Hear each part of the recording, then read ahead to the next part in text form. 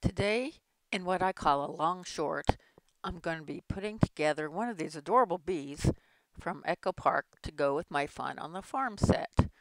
You see three here, but I'm only going to be putting together one. And I used vellum for my wings. I think that came across very cute. And here are the googly eyes that I bought from Amazon.com. They come in this really cute container and I found out the hard way that I needed to put the eyes on first before I put that little mouth on. And I think I'm going to go ahead and just draw it on from now on. So here's my little bee. Thank you so much for joining me. Bye-bye.